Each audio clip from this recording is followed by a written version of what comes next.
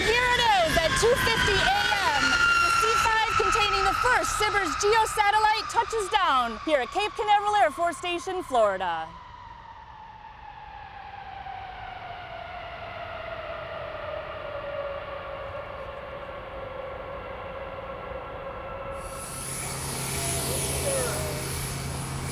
I'm just elated. This was a wonderful day, a wonderful flight. I'd really like to thank uh, Team AMC, Air Mobility Command. We had a very professional crew, did an awesome job for us, had a very smooth flight. This is the beginning of the SBIRS era, and uh, we had a wonderful flight, and the, the team really performed very, very well. So, couldn't be happier.